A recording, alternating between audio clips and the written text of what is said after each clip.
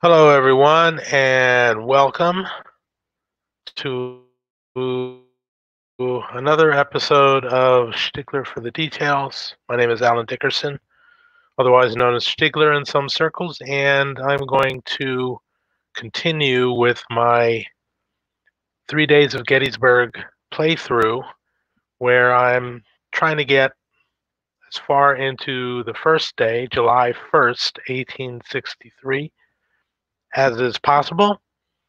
And let's see, um, I'm not going to announce this ahead of time, so I'm actually not expecting too many people to drop in. Maybe YouTube will alert subscribers to my channel that I am broadcasting currently, and maybe people will wander in, but I'm not expecting that. I will be checking the comments though periodically to see if anyone drops in and has any questions.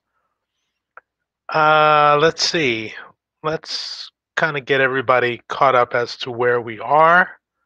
We are in which turn? We are in the 11 o'clock hour on the first day of uh, July 1863. And if you know your Gettysburg history, you know that the battle begins with Buford's Union cavalry right here facing off against Heth's division, which enters here. So Heath has, in fact, entered, hasn't done much, got a couple of his units uh, shot up from uh, this brigade. Is it Jones or from Archer's brigade? They got shot up a little bit. Um, the Union are in very good shape, and also elements of the First Corps are streaming up the road here, up the Chambersburg Pike, I believe that is, towards Gettysburg and through Gettysburg. Lead elements have reached the right flank of the evolving Union position. This is Wadsworth's division. And to the south, we also have Doubleday's division, which entered very early on the first turn, in fact, and is moving into this position here. Also, we have the first elements of 11th Corps, at least the uh, artillery of which have arrived just off of Cemetery Hill, with the infantry about a mile and a half further back in tow. So the Union uh, position is starting to form, and the Confederates are preparing for more reinforcements to enter here on the north map edge west of Oak Hill to begin to possibly flank the Union position. So, with that in mind, we are we're about halfway through, third of the way through the 11 o'clock turn. In fact, uh, Wadsworth's division here has drawn two activations already here and Buford has basically gotten uh, three activations in which they really did not do much. So he's used a bunch of activations, so we won't be expecting a lot more action from him the rest of the turn. For the Confederates, we have Pender, who are uh, the first reinforcements for AP Hill's Corps come in behind Heth, who has not activated yet this turn. So that's kind of where we are. So we don't have, uh, I don't believe we have had either March Chit come out of the hat yet. Hang on, let me check. No, the Confederates have not. The Union, I believe, did have its March should come out, although this may be a holdover from earlier, so we will see. All right, so let's go and draw a chit out, and we get Heth division, his first activation. Let me move this back out of the way and figure out what Heth's division is going to do.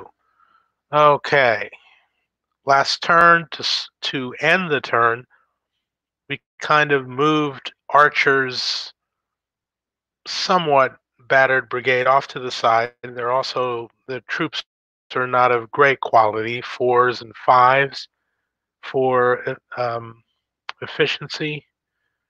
And so we've kind of moved them off, and I might decide later with a lot of forces coming on to maybe even put them in reserve for a turn and see if we can't um, recover stragglers and uh, restore this one collapsed unit here. Which one is it? This one is on the cusp. There's one unit that only has, yeah, this one here is collapsed. So I might even at some point uh, put that unit in reserve and see if I can freshen it for the afternoon. In the meantime, we've gotten the shock troops, I guess, for Heth's division um, toward the front here, Pettigrew, and as you can see, all of these are huge regiments, uh, 550 and one 600 man regiment here, and they are at the base of this uh, southernmost part of Herr's Ridge. This is all kind of part of the same formation here, and is the first ridge that the Union um, are tasked with defending. Also down here, we've had Davis, who had the unfortunate um, occurrence that he was in attack orders and contemplating making a flank attack through the trees here, and he tried to change his own orders and rolled a loose cannon. And being a cautious commander that he is, Davis dropped back into advance and had his guys take one big step backward. So he's not in really good shape, but let's see what we're going to do. So we've got these three brigades, Davis, Pettigrew, and Archer. We have Heth himself here on the road with AP Hill stacked with him. Heth's radius is four movement points. And so that puts uh, Archer, hang on, let me see if this is a swamp hex.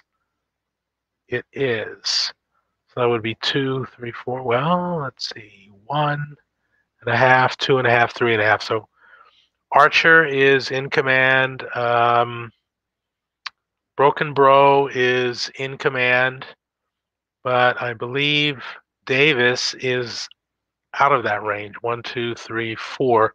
So he is still out of command and cannot um,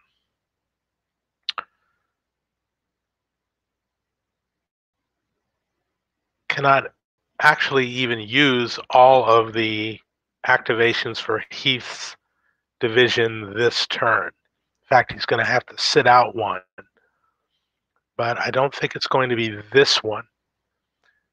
Uh, to begin with, we've got Pettigrew already in attack. He's going to try and move up here and see if he can't uh, start to knock these mounted cavalry off of the the ridge would be nice to have Davis um, change his orders back to attack and and uh, move in on the side. Um, I can't really see any benefit in attempting to coordinate or attempt to move more than one brigade during the activation. So I will eschew that and I will start simply with Davis attempting to change his own orders by himself. So he will attempt to change his own orders to attack. So we'll roll on, let's see here.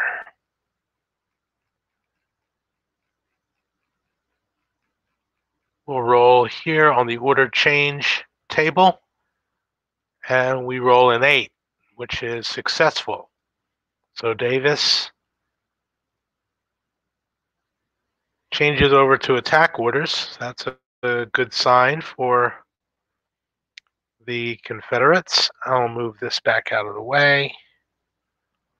And now let's see. Actually, I think I will even start with Davis, seeing as he's doing what I kind of want him to. I will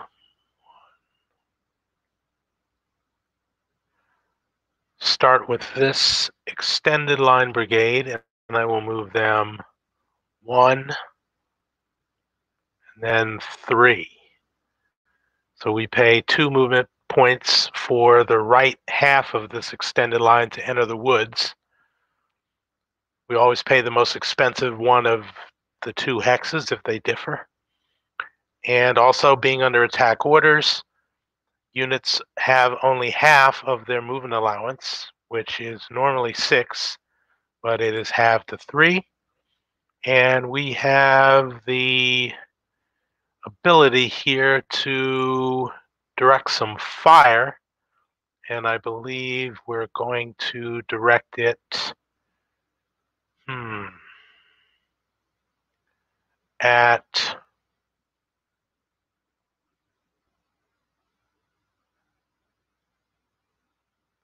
this unit here.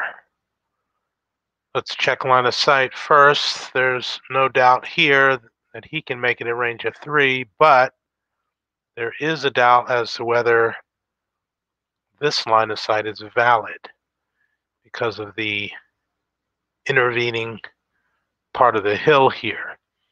So we see that these are adjacent levels of terrain, so we can make it a pretty easy calculation by calling this level 1 and this level 2. So we have level 1 and we have level 2, which add up to level 3. If you divide that in half, you get 1.5. And so any terrain that is higher than 1.5 and closer to the lower unit will block. So we have a hex of two level terrain here, or actually two of them right there in front, but they are closer to the higher unit than the lower, so that would not block. And let's see, it doesn't go into this hex. So they can see it. So they can fire from both of these hexes at that unit. They can combine their fire and get all 10 strength points firing, and that is exactly what they're going to do. So let's bring our charts back here and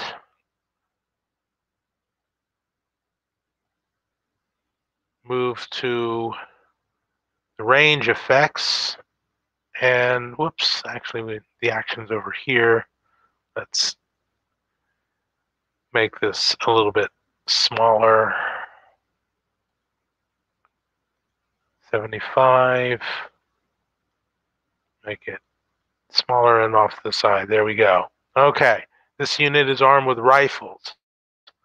We have a range of three, and so rifles at range three have a negative two range attenuation we have uh, a unit that is on horseback, which presents a bigger target. So there's a plus one for that. Oh, hold on. Hold on a second. Let me also note that as this unit moves to within three hexes, these units are eligible if they want to back up and use cavalry, mounted cavalry reaction movement. And I think since they are actually planning to skedaddle anyway, they would take that. So they will retreat down the hill. And then they also have to take uh, UDDs for doing that. would be a 7 for this unit. He rolls an 8, so he's actually disordered. This unit rolls and gets a 3, so he's fine. However, because he is now moved, let me hide the behind that hill, he can't be fired on. So this unit is done for its movement. Then we will move this unit here and to three, and then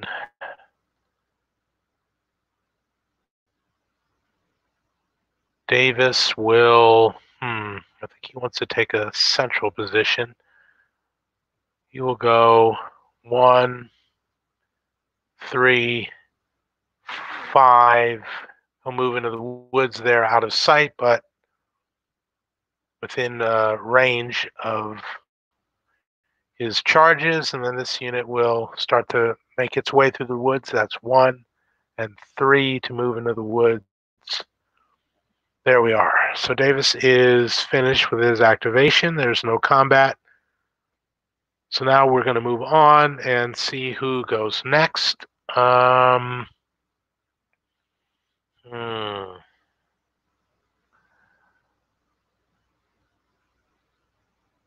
Question is whether I want Pettigrew to move up. He is another brigade of units that have not ideal uh, cohesion values. They're all fours, so they are pretty bad troops. So if they were to move up there onto this ridge here, what's the name of this ridge? Uh, Schoolhouse Ridge. If they move up there, they're probably going to get shelled by this artillery. But we got to start to put some pressure on at some point. So they'll move up here and they're not close enough to this artillery unit to draw approach fire. So that's uh, one, two, the orchards do not uh, cost anything to start to oops, change facing there. Two, then three. I'm gonna cozy on along this hill and make it four and Union Battery is going to hold their fire at this point. And this unit is going to go there. And their brigade mates are going to come over the crest. Two, three, four.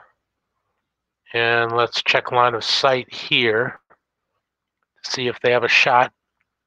As you can see, they're kind of nestled in here. There's higher terrain there. So let's check and see if there's line of sight from here to there. All right, this would be terrain level one. This would be terrain level two. This would be terrain level three. So we have 1 and 3, which equal 4. Divided by 2 is 2. So 2 is the potential blocking terrain. These are level 2 or higher than level 2 will block um, will block fire. So this hex is closer than this hex, so they are shielded can't be seen. So that's uh, one, two, three.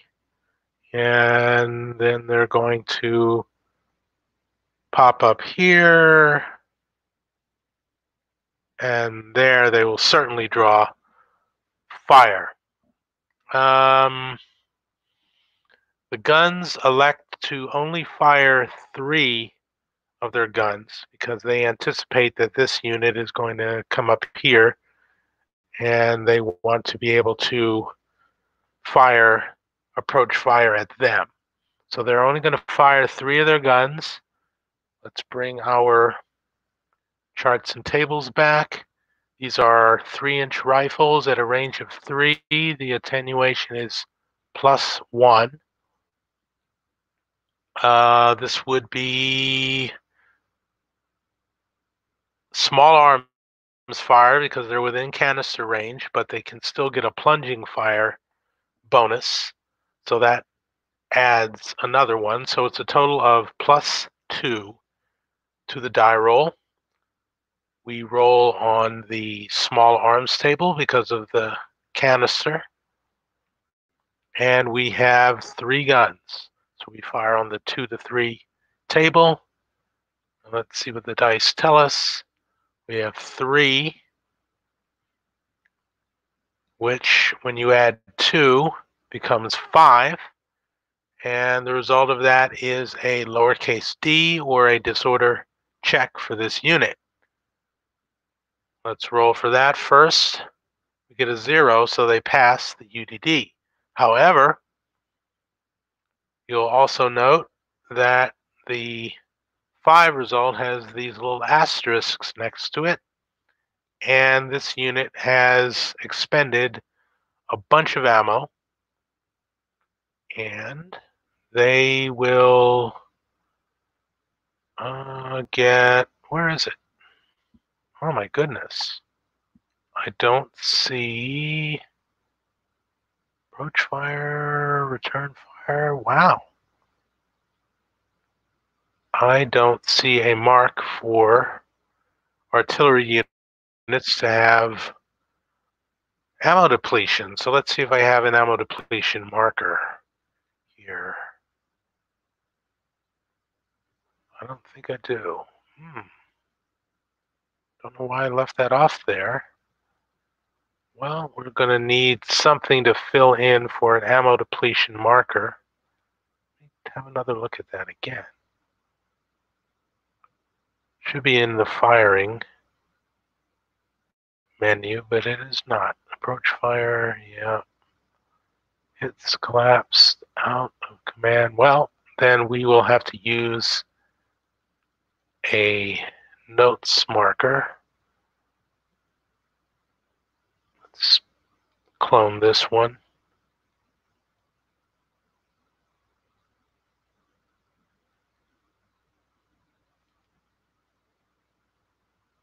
And we will change the label to read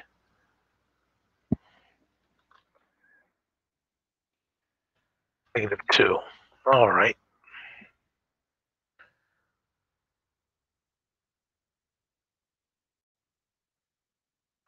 Okay. Then moving on, these guys will also move up two, three, four, five, and now the other three guns will fire.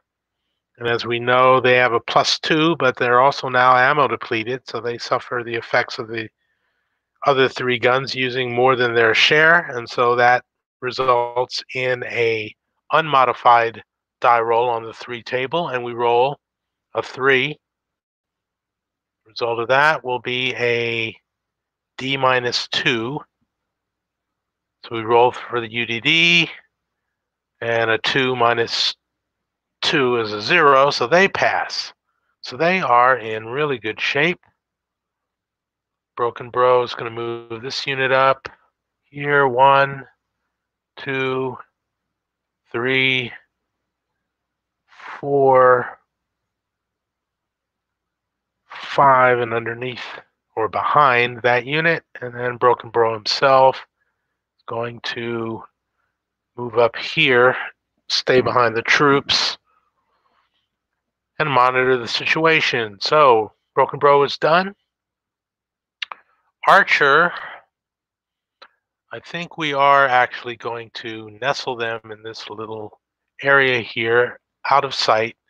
And later I'm going to put them in reserve and lick their wounds two, three, four, three, four. Oops, there we go. They'll go there. This unit can rotate and get in there with this unit.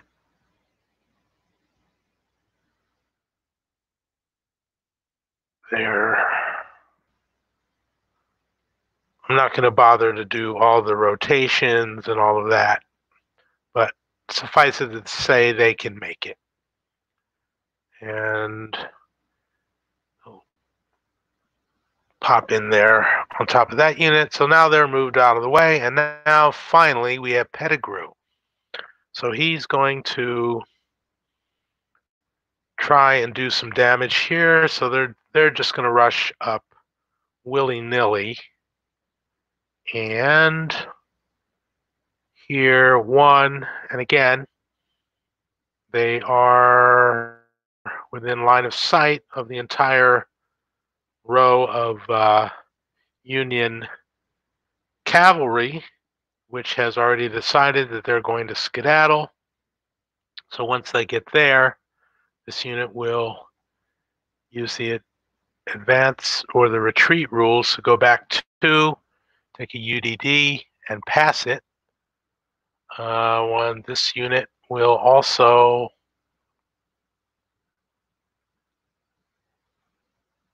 retreat two hexes and take a UDD and pass it. Okay, then gamble. One, two, three. They have not been approached closely enough, so they will stay there. All right, so that's one.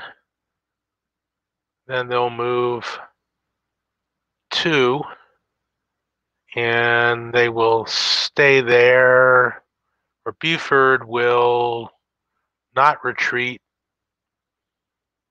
This unit will, one, two, three, they're fine. One, two, all right. They'll, they'll stay there. Then this unit will move here. Now this unit is close enough, but he is the flank of the artillery unit. He's going to stay there. This unit with Buford, basically his bodyguards are not going to move. This unit will now elect to fire at this unit. So seven strength points can fire out of one hex. So that's seven strength points at a range of two. I already know that rifles uh, have a plus one at range one or two. No prepared fire since the unit has moved. We have a mounted target and he's not in any type of terrain. So that's going to be a total of plus two, one for the rifles, one for the mounted target, seven strength points. Uh, rather poor roll of one, which becomes a three. And that is a straight D result. That unit has a seven cohesion, and he passes. Um, let's see. Return fire. They have B for breech load.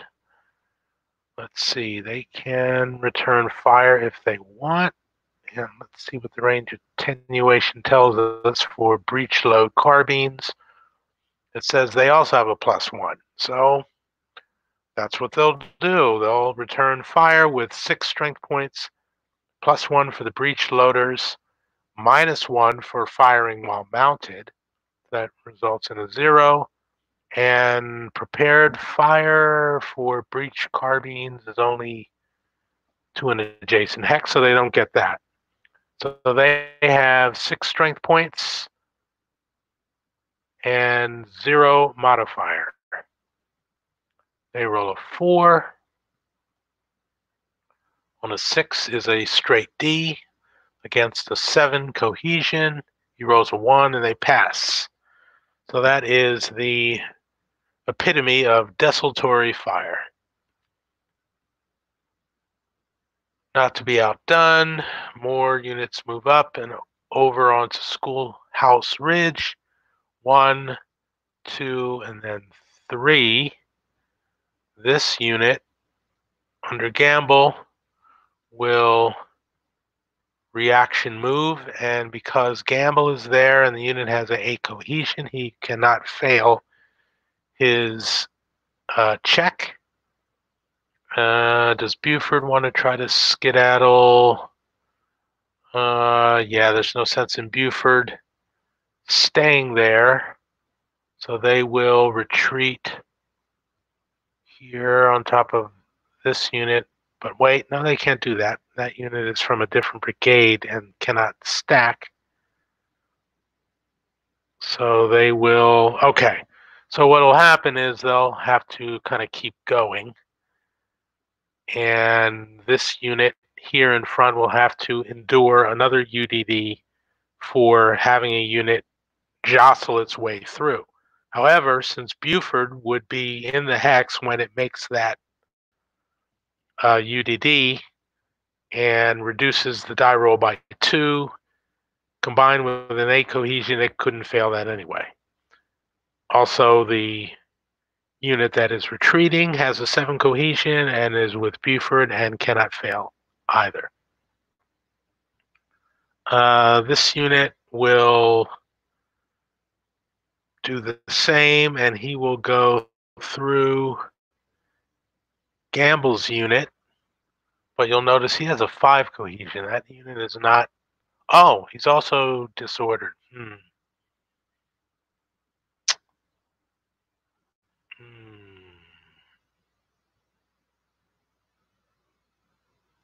No, that unit's going to stay there.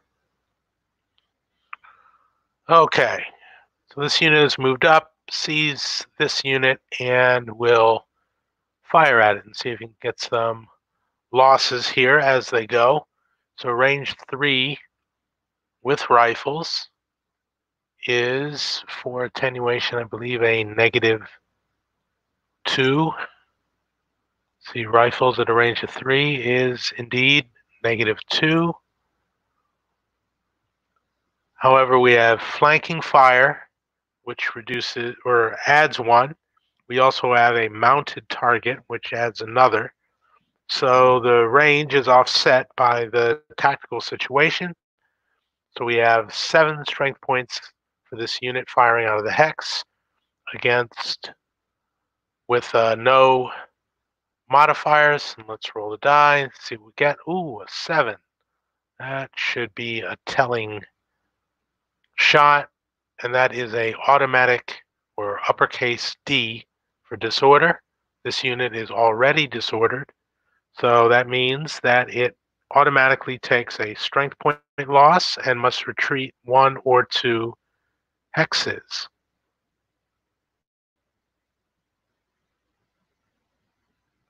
Hello, come on. There we go. And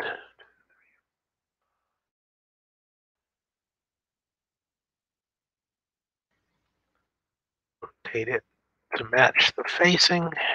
Whoops. Put that underneath. And they again are going to have to jostle their way through. And that unit cannot fail that UDD. And there they go. Okay. Pettigrew is seeing that he's having some success, so not to be outdone. He's going to move this unit here. He's going to crest the hill here. And this hex is, hmm. This hex here will block the line of sight to this unit there, I believe. Let's trace the line of sight. No, it does not hit this hex. It only goes through this. And it's far enough away. To where he has line of sight there. However, this unit can elect to retreat and reaction move, and that's exactly what he will do here. He'll roll a UDD 7, he passes. This unit still has one strength point left, and he will use it to move. Hang on, let's see if this unit under Gamble will elect to keep retreating. I believe he will. He'll duck down there. Let's get these units out of the way. Yep, down below the crest. And now when he gets there, these units are now hidden from view, I believe. Well, maybe not. If we go there, we have this level is 1, this level is 2, this level is 3. So 3 and 1 is 4 divided by 2 is 2. So 2 is the potential blocking terrain. These are level 2 hexes. There we go. So this would be blocking terrain if it is closer to the lower than the higher, which it is. So he is blocked in that little little dale there. All right. Finally, this unit is going to move up one, two, three. Pettigrew will move up, presumably to keep this unit still within his command radius, which is a oh, which is four. So he's fine. And now Pettigrew is finished. Let's see what we're going to do with Heth. Um, Heth is going to move up the road and let's see, maybe if he can.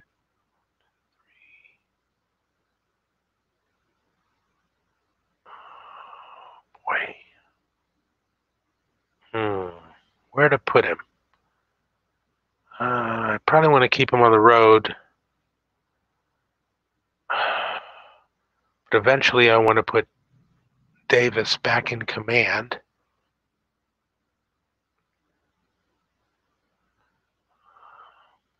we'll put him here. Of course, that's going to put Archer and Brockenbrough out of command, but Heth seems to have his issues. So there's really not much we can do about it. That's where he's going to go. Okay. So that activation is now done. And we will move the activation here and bring back our hat and pick the next chit and it is Pender who activates for a fourth time. He Pender, as we can see, has already incurred a level of fatigue and doesn't want to overdo it. So I think he is going to, whoops, wrong one, wrong sheet. He's going to eschew that activation, skip it, and we're going to ignore that and pick the next. And here we have Wadsworth. And we're going to have another one of those decisions for Wadsworth because he has already had two activations. A third would mean a level of fatigue for Wadsworth. Let's see what the risk reward situation is. So here's Wadsworth. Here is Meredith's brigade. Here is Cutler's brigade. Here is the artillery, which do not fatigue, so they can actually use this activation. And do we have a third brigade? It's the first division.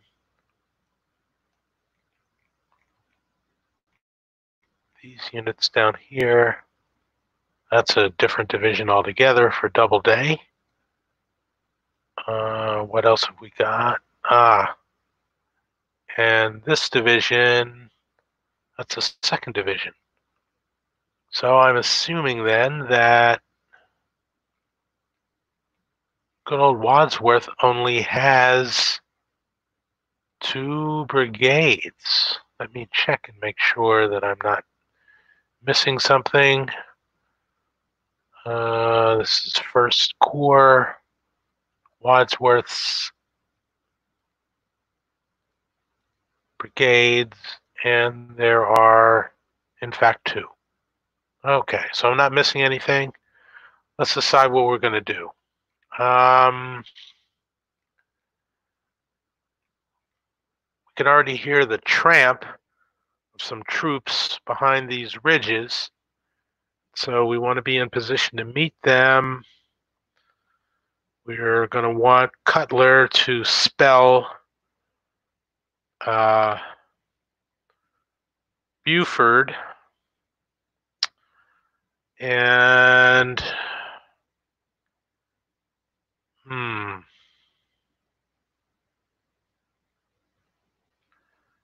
Thinking it might be worth it for Wadsworth to incur the level of fatigue to solidify their position. So that is in fact what they're going to do. So I will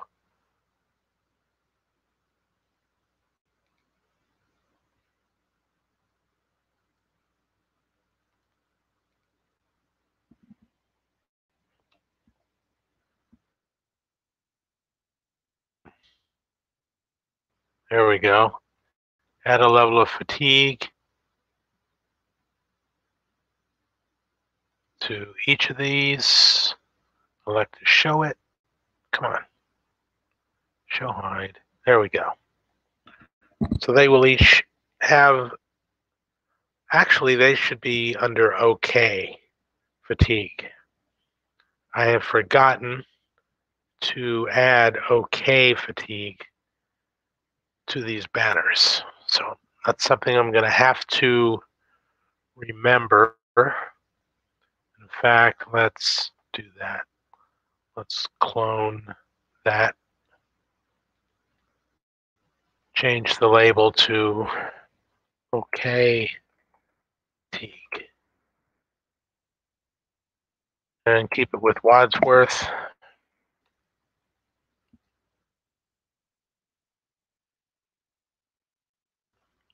All right. All right. Let's see. Uh, now these ridges here are running perpendicular to the front we're trying to establish. So I don't want to position myself on these ridges and present a flank to the onrushing cloud of dust that we can see and hear. Uh, let's see. It's looking like this would be a good blocking position. We don't want those units to be able to use much of the road, so we could think about occupying this crossroad and making them move us off of it, but they can quickly come in behind that position. Let's see what those fens and bogs and swamps mean for purposes of, say, shock combat. Uh, marshes have no effect on shock. They all they do really is slow movement. So I can kind of use it as a impediment to my flank. Hang on a second.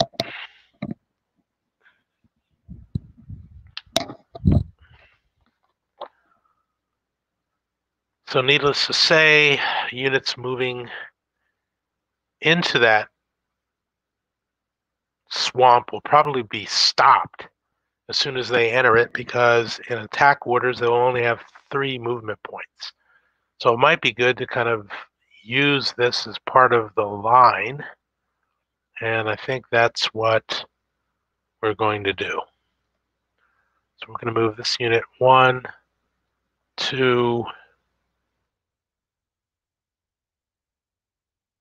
three, four, five, six. We're going to move this unit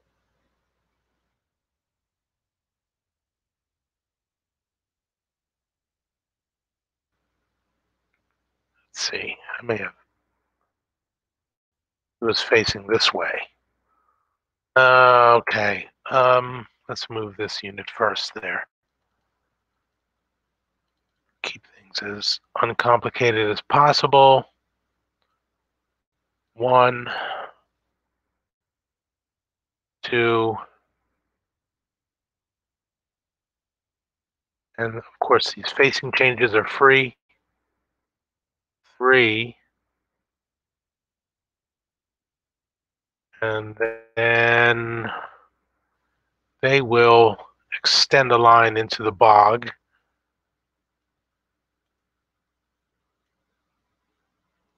And that will cost two, or for a total of five. That to reflect a union line. Oh, great. Uh, we have another little problem there with these units. Let me try a refresh. See what happens here. Uh, well, nothing to be done about it. Now let's go back down to this unit.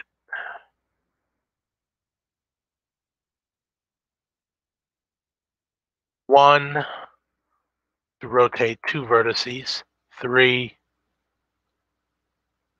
four,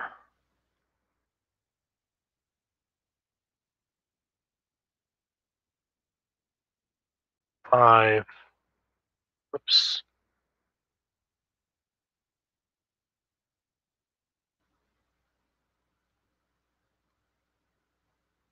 actually he's going to end up there on the road. It's the best place for him. Then this unit, it's a pretty big brigade. We'll move one, two, three, four, five. Artillery, which can be attached to this division and in fact is. Uh, let's see. Well, right, actually right here is still a good position unless he wants to go there. But then, no, he's in a good position there. All right. This brigade is going to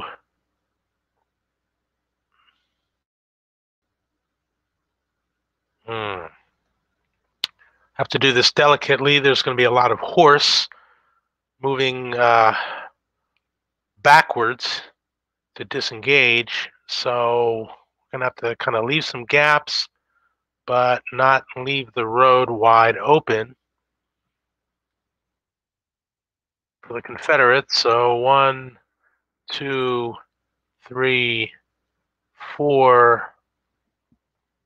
Willoughby's Run is a creek, and that costs plus one to cross. Stream.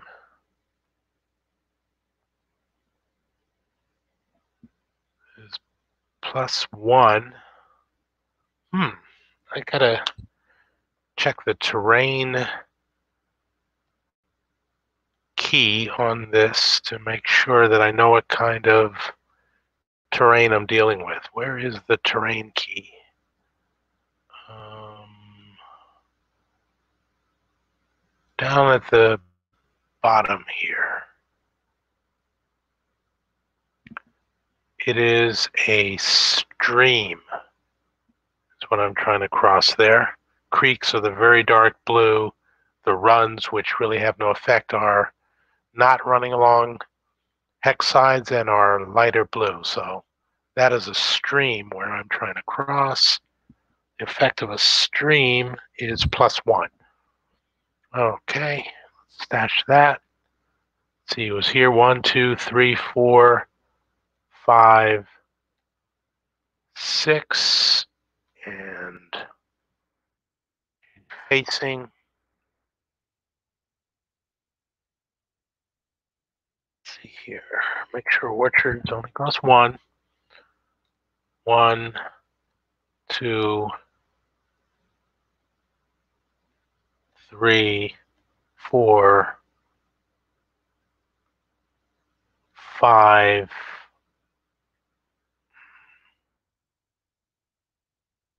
six,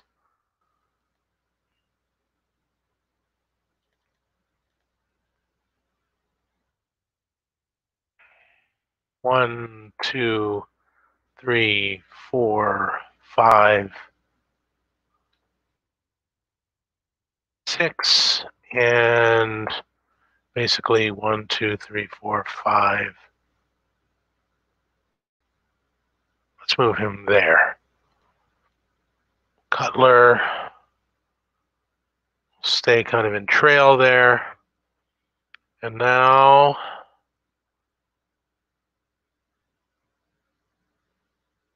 let's see.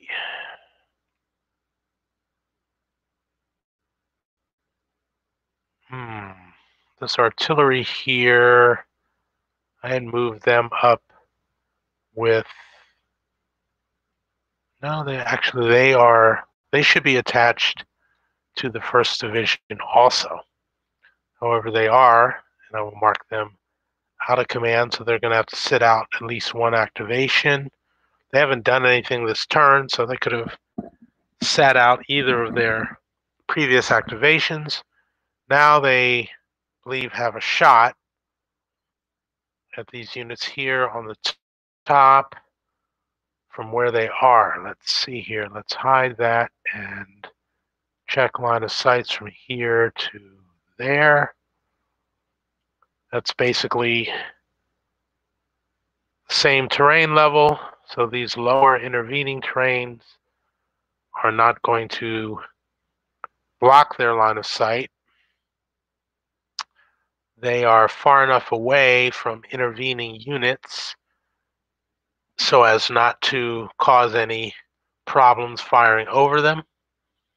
Uh, keep in mind that you also have to uh, obey that two hex buffer behind or beyond any units that you're attempting to fire at. And if there are any friendly units behind them, that will stop you from firing. But that is not the case here. So we've got these really, really large blocks of men here and they make for an inviting target.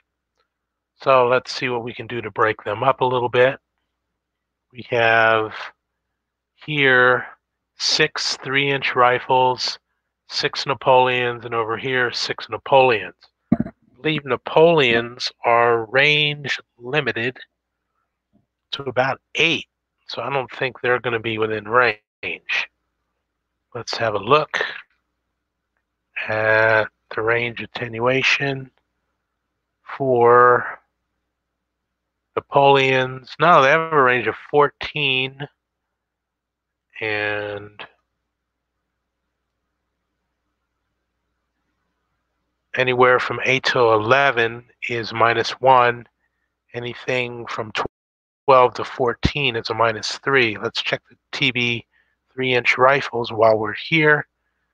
Up to 12 or up to 11 there, also negative 1, minus 2 it ranges 12 to 18. So let's get our handy dandy line of sight tool and trace that. And we find it is indeed exactly range 12. Let's see if that isn't any closer. That's also range 12. We could fire at this large unit here, and he is in the lead. and get a better shot at range 10. Uh, far enough over the head of Gamble's men. Yeah, let's see what we can do here. However, that is actually is that higher terrain?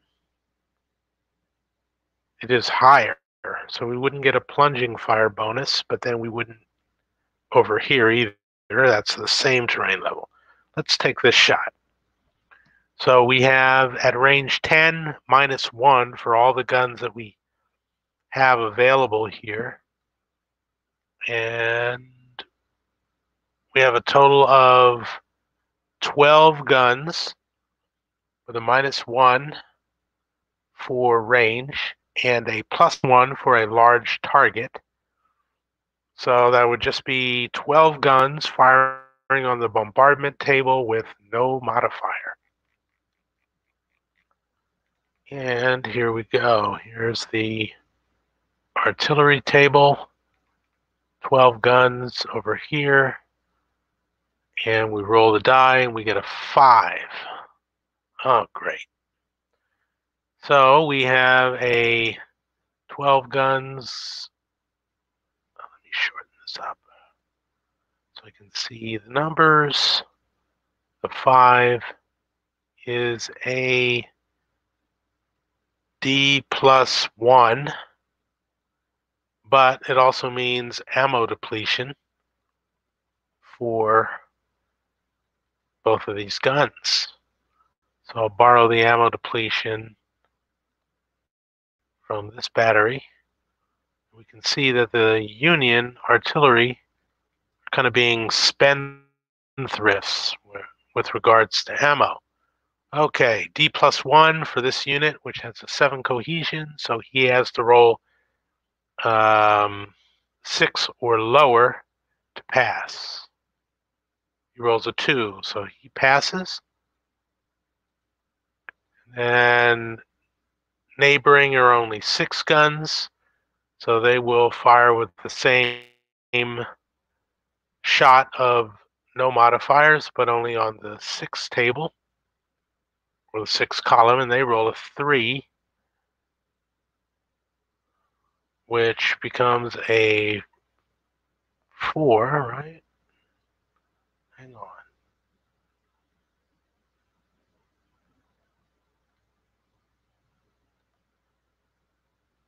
Oh, right. No modifier. So it becomes a three with six guns. One, two, three is a D minus one. So coupled with a seven cohesion, he can only fail on a nine. It doesn't roll that either. Okay.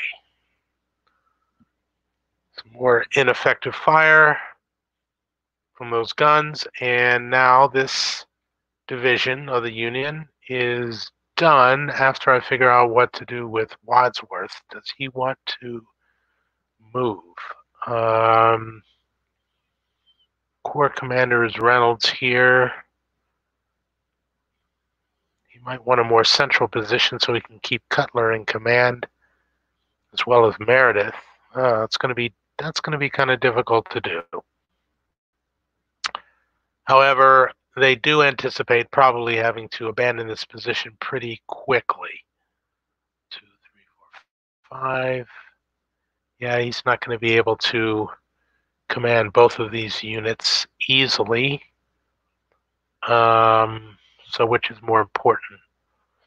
These guys, it's a huge brigade. They've got terrific cohesion. Uh, they they're probably good left to their own devices. So Wadsworth is going to move closer here to Cutler. One, two, three, four, five. Still not close enough. Hmm. One, two, three, four, five. He moves here. One, two, three, four, five. Still doesn't make it.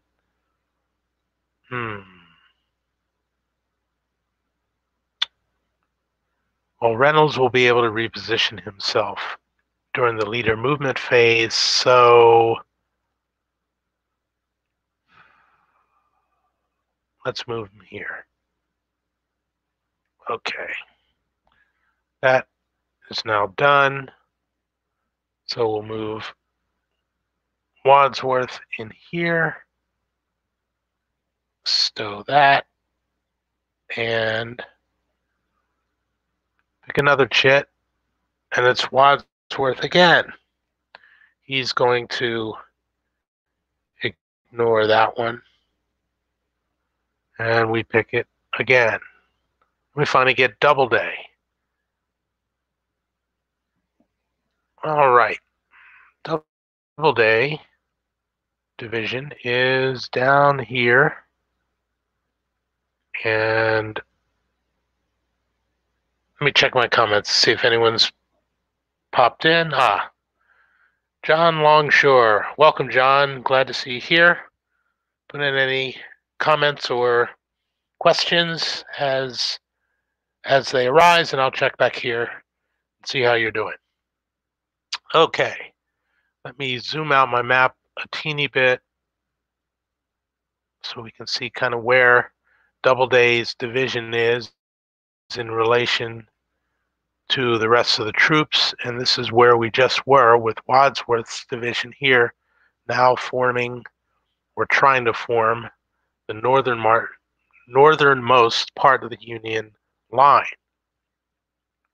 These guys are coming along this road, and it would probably help for them to come up on the left of Cutler here. So that's what they're going to do. They've already dropped out of march orders and are now assumed to be in advance orders. And first result of that is all these extended column markers can go away.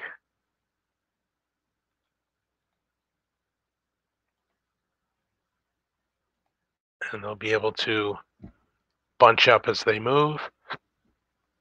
Okay, see what we got.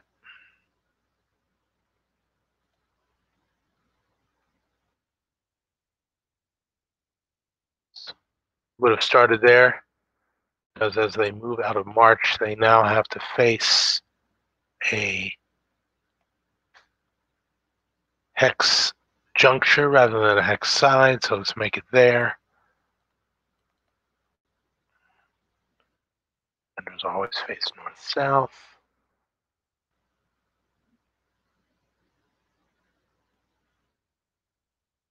Okay.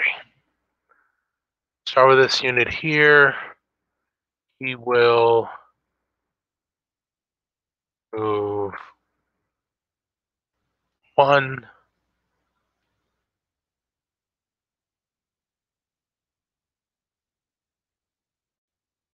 two, the road negates the stream, three, four, and through the orchard, grabbing some apples along the way.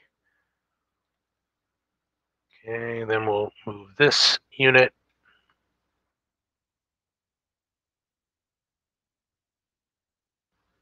One, two,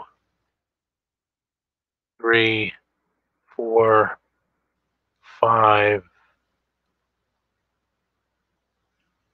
six. Still don't have him quite facing. There we go. This unit will move one, two, three, four, five, six.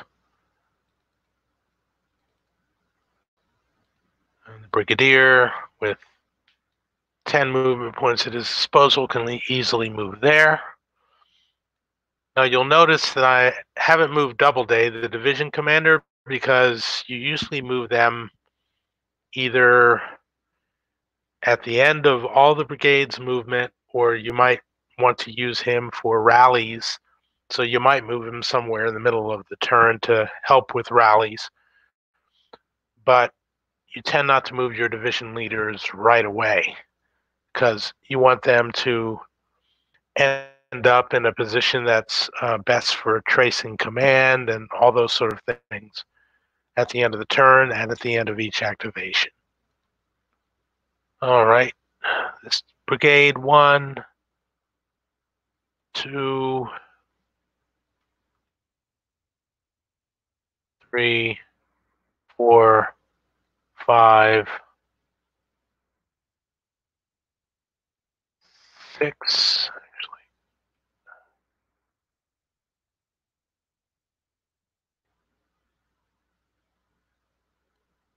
One, two, three, four, five, six. One, two,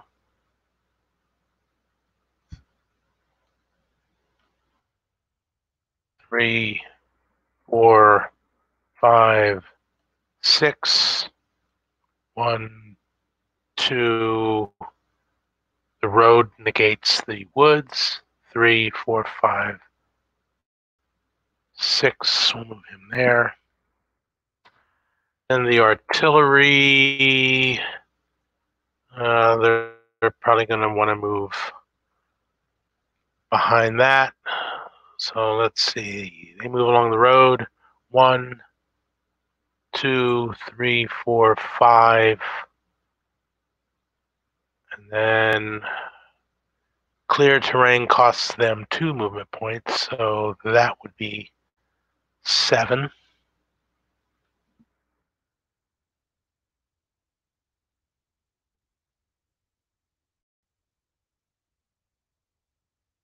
Leader goes to the head of the pack.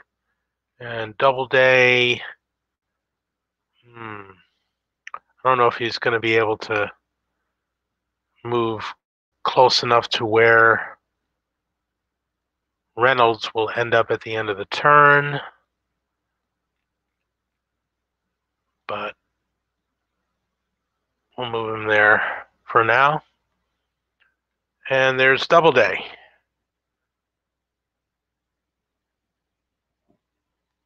So we will move that chit here, Doubleday, and get the next chit, and it's going to be Doubleday. Starting to see a trend here. I'm wondering why my hat doesn't seem to be randomizing. Seems to be kind of following script for how I dragged everything in there. Doubleday second activation, and he will use this to good effect. Okay, we will start with Stones Brigade. One, two, three, four, five, six, one, two, three, four, five, six, and then repositioning so as not to present a flank to the enemy. And the trailing unit, one, two, three, four, five, six. Stone will go there. And we have the Rowley Brigade. One, two, three, four, five, six. One, two, three, four, five, six. I'll go in down the swale. Brigadier there and Doubleday himself, who has a radius of five. He's got a great radius, so he should be able to make the road. One, two, three, four, five, six, seven, eight, nine, ten. He'll go there. One, two, three, four, five, six. Oh, his radius is only five, so let's not get carried away five. There we go. There's Doubleday. mark them as unmoved. Then we can put the used chit there.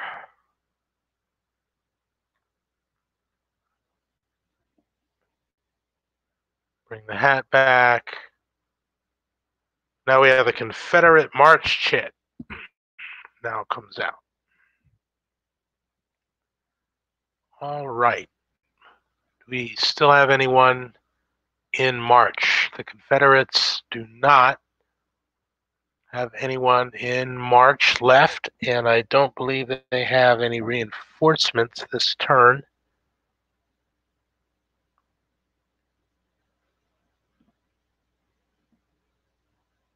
Pender was the reinforcement, and he's already come on. So, no. No one is in March for the Confederates. So we can safely ignore that shit. And we can move it there and draw the next shit and it's Heth. This will be a second activation for Heth, and he is very glad to have it. Let's get to working on this cavalry and see if we can't do a little more damage before they leave. I'll zoom in a little bit more so we can see what's going on. First, take a look at our command situation, and we find that Heth is here. Pettigrew is within range. Davis is within range. However, Brockenbrough, one, two, three, four, is not. Brockenbrough is out, and then, of course, so is Archer. Okay, do we want to try to coordinate the attack because we have these two brig uh, brigades here in attack? Well, we can kind of read the handwriting on the wall that the Buford cavalry are not going to put up much resistance and they're going to just retreat. So there's no sense in trying to overwhelm them and risk confusion by trying to combine brigades. So that won't happen. Uh, we'll leave both of these in attack orders. And what the heck, with Brockenbrough, we're going to attempt to have him change his own orders to attack. He makes no modifiers to the die roll. And so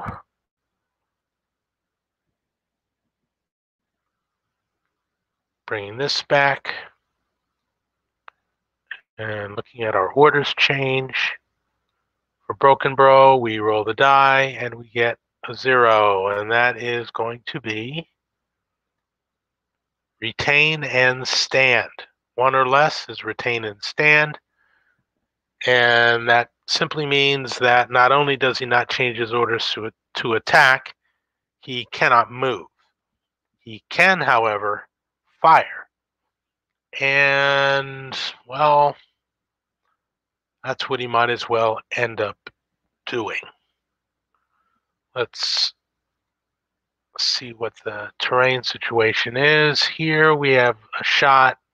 We're not going to bother firing at the artillery because its cohesion is 9.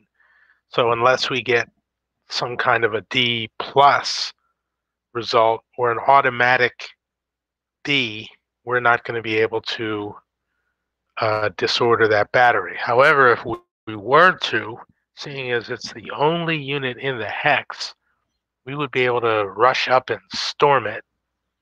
But we weren't able to change our orders to attack, so that point is moot. So we might as well have some target practice. So we'll start here, and they will actually attempt, whoops,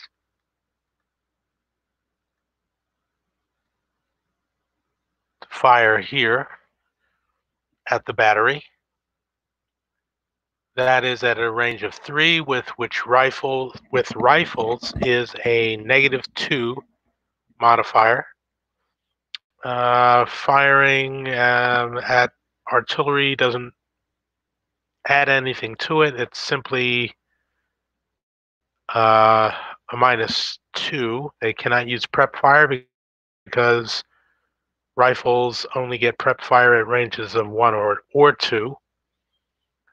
So, hmm, that actually might not be a very smart shot. Let's have a look at the five column when you fire and take into effect or take into account that the die roll can be a maximum of seven if I roll a nine. Five, seven would be a D plus two. That might have a chance, maybe if I subsequently roll high for the battery to disorder it. Might as well try it. We'll fire. Get a four, that becomes a two.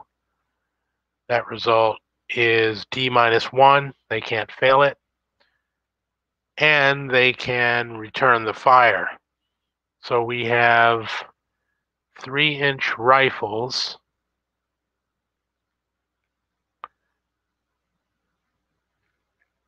Let's find our range attenuation table again. Whoops. Three inch rifles or TBs at a range of three is a plus one. And on the small arms fire, also, three inch rifles are not eligible for rapid fire, where they could fire twice. So they only get one shot, and it's a plus one. They are firing from the top of this uh, hillock here, behind the terrain here. Here's the artillery battery, and as we can see, they are firing from a higher position.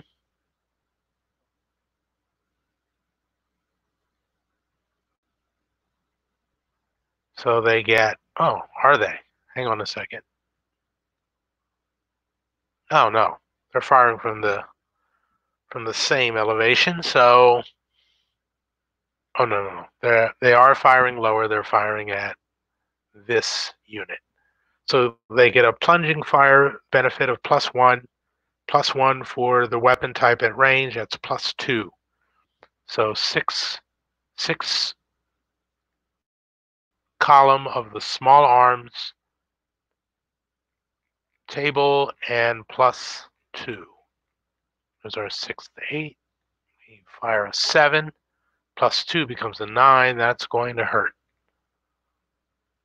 So that's six guns with a nine is a one and automatic disorder. That did indeed hurt. Let's get a strength point marker. So, so far, the Confederates are taking most of the damage.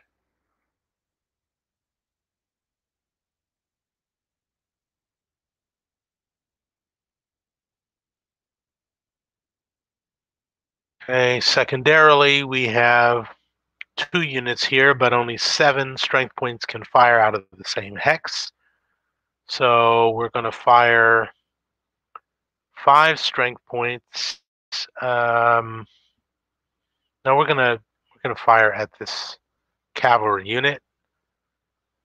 So again, rifles at range three are a negative two. A horse-mounted target adds one, so the final modifier is a negative one on the five table, zero, that's going to be a miss. They have the option to fire back with uh, breech loaders. And I believe they also have a negative two at range. Let's see here. Breech load carbines, minus two. Uh, minus two, and then a further one because they're firing from horseback, so that's a minus three. Well, these are rather poor troops, so they're going to take that shot. So a minus three on the six to eight small arms. They roll a five, which turns into a two. 6 is D minus 1. Yeah, they could still fail that, but they don't. Now the unit underneath can fire two of its strength points, and they might as well take a poke. So 2 at range 3 minus 2 makes it minus 1 because their target is on horseback. So 2 table minus 1, and they roll a 9. That's a good one. That turns into an 8 on the 2 table is a D plus 2 result. So we roll 2 plus 2 is 4. They do not fail. Uh, okay, and then this unit can only fire at the artillery. Might as well, that's all they can do. So four strength points firing at range three, that's a minus two. And they roll a zero, so nothing happens. They've already returned fire, the Union artillery, and so they cannot return fire. And that's it for Brockenbrough. Uh, Archer, he's where he wants to be. So they will not activate. Pettigrew is now under attack orders, and yep, we're gonna, you know what? We're going to take a shot at capturing this battery here, seeing as the Union seem to want to retreat with the cavalry on the hill. Let's see what what happens if we move in this direction. So this unit will announce its intention to move here. This unit will have the option to retreat. And they will. Hmm.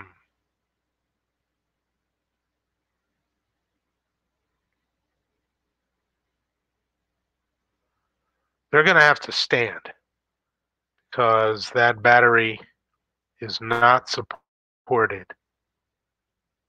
So they're going to stand. They move in and they figure, what the heck, we're going to fire at them and see if we can blast them back and then then still get to this battery. So they can fire seven strength points of rifles, plus one for the weapon at range, plus one because the target is mounted. So that's a plus two. They get no uh, prepared fire bonus because they are actually moving.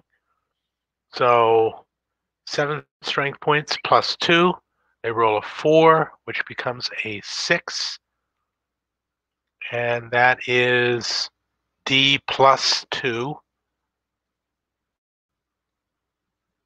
Seven plus two is nine.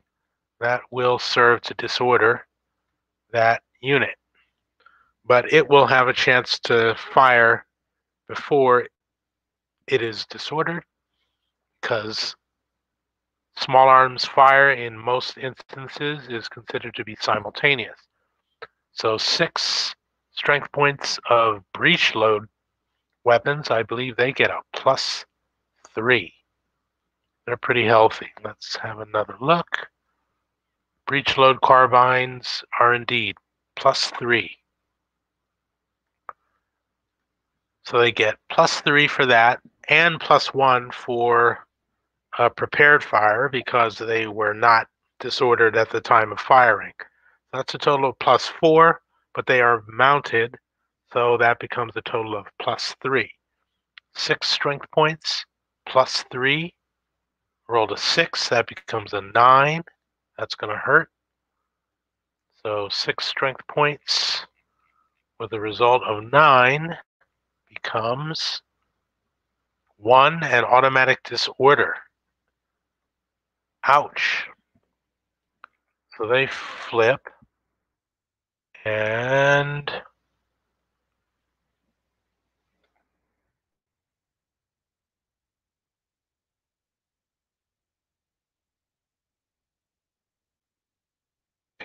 More casualties.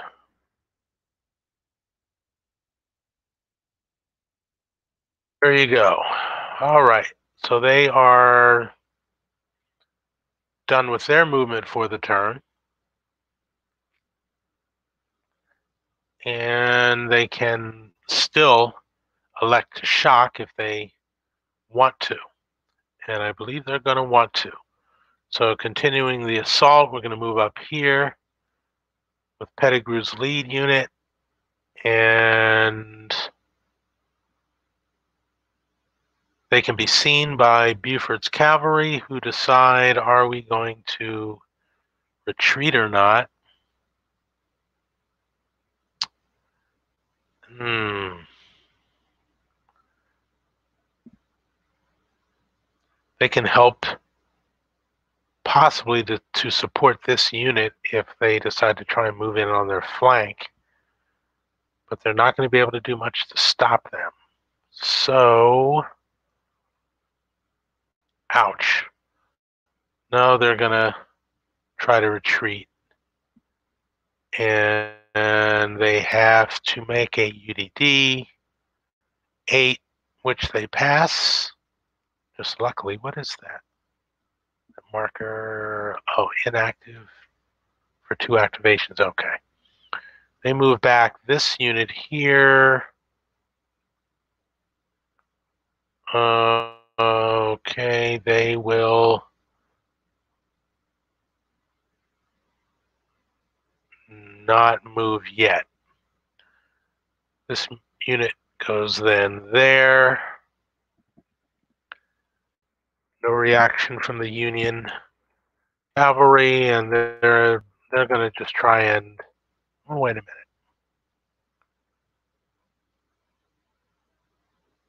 Yeah, they're going to go right in here. They're tired of messing around, and they've got designs on getting that Union battery. Um, more chances for Union to withdraw. Let's hide that for a second and hmm. Uh, down a steep slope for artillery is prohibited. Aha. Okay, some uh, tactical considerations that are coming into play here are this horse artillery battery.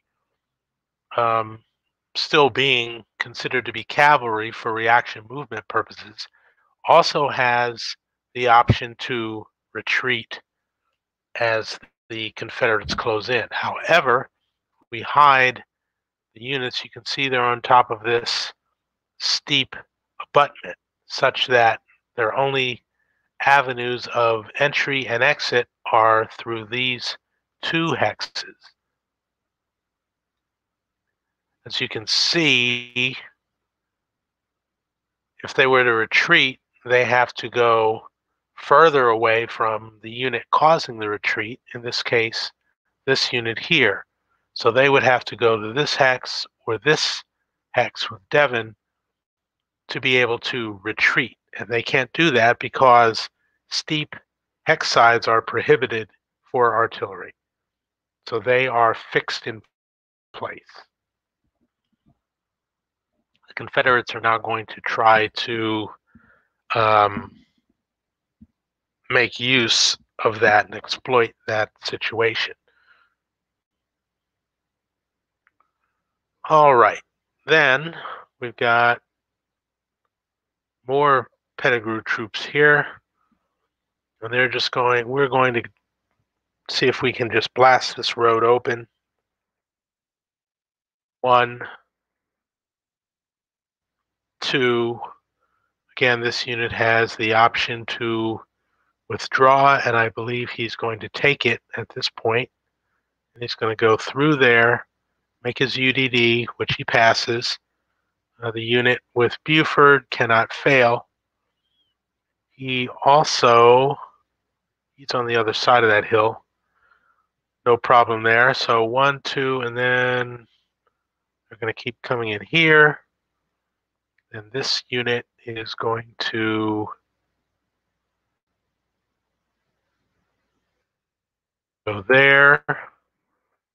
They're going to extend the line.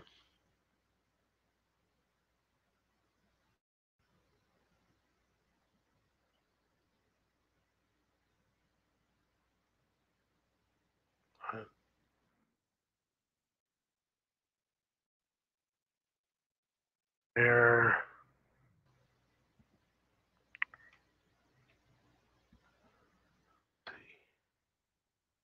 Oh, wrong side. That's the one I wanted. Delete that, move that there. That costs one movement point, and then we're going to move forward as one, two. Again, these units have the option to retreat, but they decide not to. Now I'm going to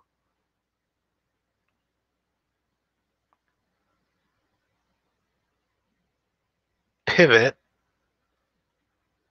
such that this unit will go there, this unit will swing to that hex off of a third movement point. Again, hmm, retreats. Oh boy.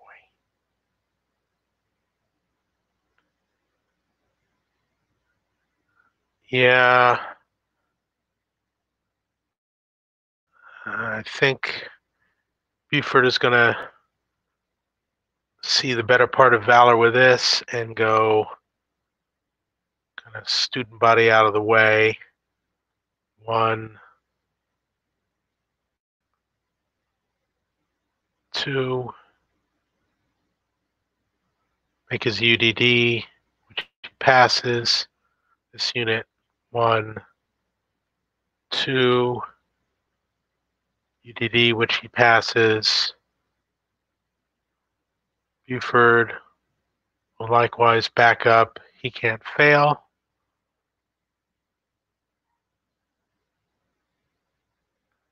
This unit will go one, two. Oh, and that's right, he's disordered. So they've got to make their UDD and they fail. So they take a casualty.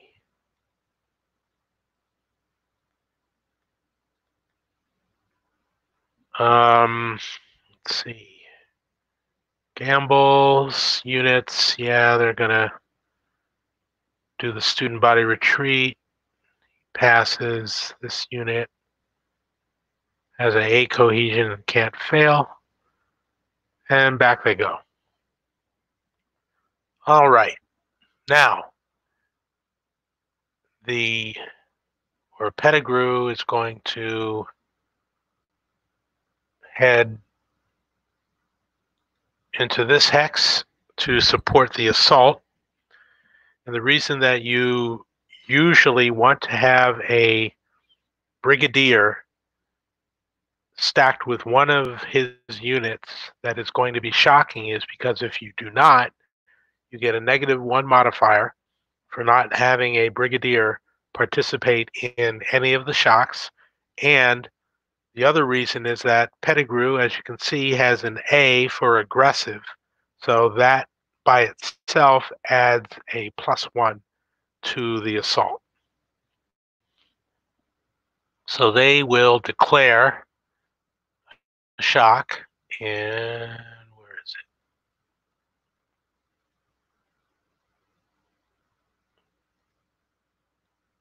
They will declare a shock. Now, because one of the units fired on the way in, this disordered unit here, the attack cannot be a infantry charge, which if all of the units involved in that shock only move to contact and they have to move at least one hex. They can't have begun adjacent. They can declare an infantry attack and they get a plus one bonus. However, because one of the units fired, that goes by the way. All right, so we have a total of 28 strength points, attacking six for the Union. And I don't know about you, but those do not sound like uh, good odds for the Union. They will almost assuredly be swept away. And the other thing is, if the result is bad enough and, and the Confederates get a continued shock out of it, this unit will be forced back, possibly rout, and then they will get to move in on the flanks of this unattended artillery battery and probably take it. No, assuredly take it. So, because there's no chance for them to survive the onslaught, the Union cavalry is going to elect to retreat. Retreat before shock. And they do that by moving one hex out of the way and farther away from the assailants, which they do. And then they roll a UDD against the five cohesion. And let's see, do cavalry get any kind of a cohesion bonus for shock when they are mounted? Let me find my shock tables, shock adjustments. This is the pre shock. Oh, there they are. Pre shock Union DRMs, cavalry charging. Um, no, that happens at the end. So they don't get any bonuses. So they have a five cohesion. They make their UDD. And with a zero, they pass it easily. The Confederates get the chance to advance and they will do so with the larger unit, leaving Pettigrew behind with the disordered unit and a little bit of a buffer. And that is the end of the shock. And also the end of the division's movement. So we will now move Heth here and draw another chit. And we get Heth again. This will be a third activation for him, which would make it um, a fatigue incurring one. And let's see. Oh, hang on a second. I did not move Davis's brigade. So let's backtrack. Uh, they have to sit out one. And that next one that's actually upcoming is the one that they can sit out. So they actually would have moved uh, in the previous activation one, two, three and one, two, three, two, three. Davis will move here, and Heth himself is going to be a little more consolidated. So let's move Heth here, one, two, three, four, so that now Brockenbrough will be in command at the end of the turn. Okay, that's what happened last activation. Now, Heth has again been activated, so he's got choices to make about um, whether to incur fatigue. Davis is going to sit out this activation because he is out of command. We already know Archer is not going to do anything. Brockenbrough Hmm. Boy. he doesn't need any additional problems. So what we're going to do is not have them activate, but we'll move Brockenbrough in in an attempt to rally. This does not incur fatigue. Oh man, his cohesion is two. Brockenbrough reduces the die roll by one, but five. So five minus one is four, which is still twice his cohesion. So not only does he fail to rally, but because the die roll for the UDD and the rally attempt is twice or more what his current cohesion is, he has, oops, where is it? 50 guys decide, well, maybe I got better things to do today, and they incur stragglers. That's not good. All right, Pettigrew, he's going to incur the fatigue.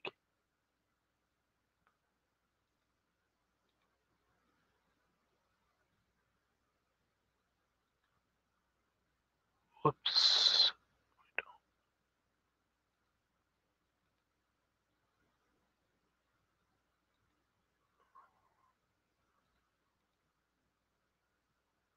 We're going to clone this because we know that they will only now have okay fatigue.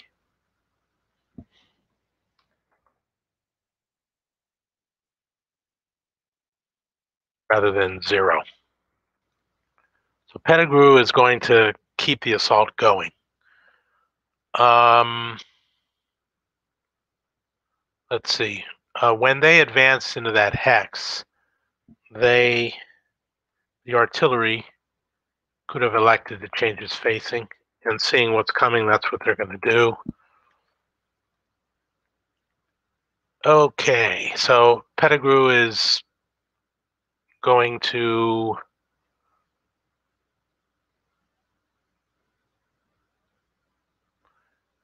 see how much more of a toll he can exact here. Um, they're going to try and get get right into Buford here. We know this unit here is probably. Probably everybody's going to start to back up and they're going to pretty much abandon that artillery to its fate. Um, so let's let's start to ease on down the road. They're going to change their facing. They're going to get into extended line, shake that out. That costs one movement point. One. And then they're going to march en masse. Two. This unit now has the option to uh, retreat, which I believe he will take. Oh, let's check the orchard. That costs Mounted Cavalry two. So that retreat is actually going to. Ooh. That's going to complicate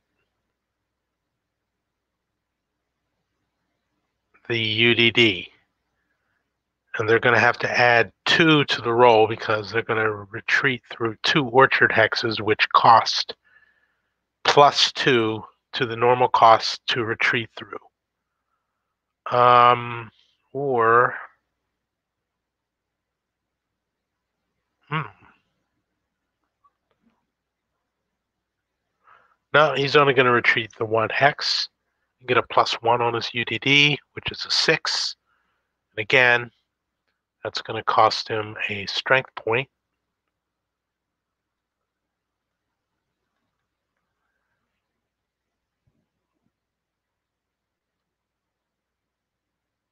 He's moved two, one to shake out the line, one to move forward.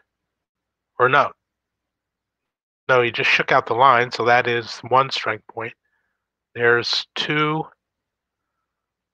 They, the entire line has another opportunity to, continue the retreat. And what are they going to do? Oof. All right. They're going to they're going to try to retreat through two hexes there. The stream costs mounted cavalry plus one. The orchard is plus one, so plus two to his UDD. Oh, and they disorder. Wow. Okay. Um, who else is going to be with treating retreating? Uh, Doubleday. Let's see if there's. Whoops. Let's, they're behind there. One.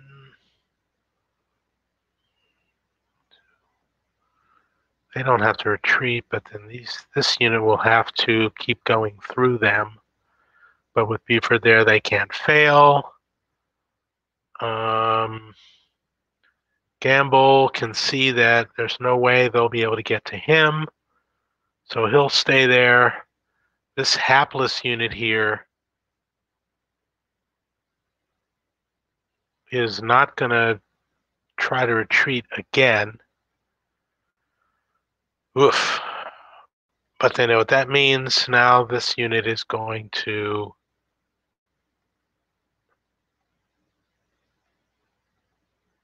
this notes unit is for Buford.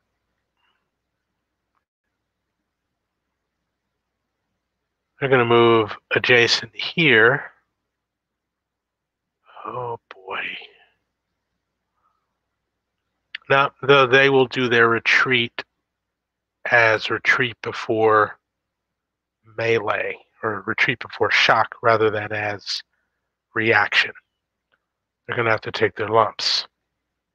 Um, this, however, would be an infantry charge.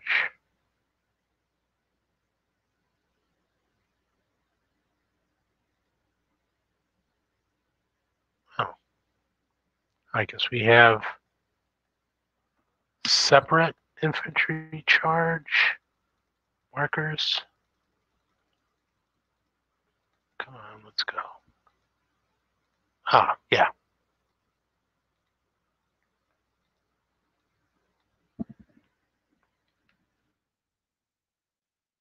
Okay, and finally this unit is going to come pouring over the hill. One, two.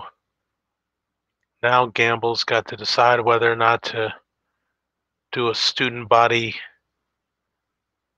to the rear, and he will.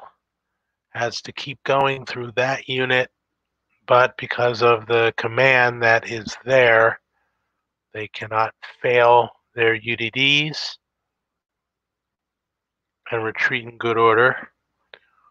And this unit will move there for its third movement point. Uh, hmm, okay, that's where they'll go.